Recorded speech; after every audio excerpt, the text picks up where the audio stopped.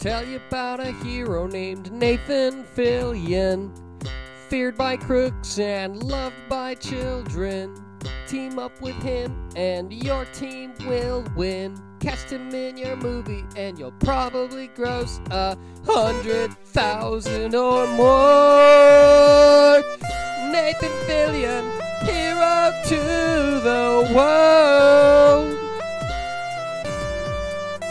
If you're hungry, he will bring you a sandwich. He is Canadian and Canadians love mayonnaise.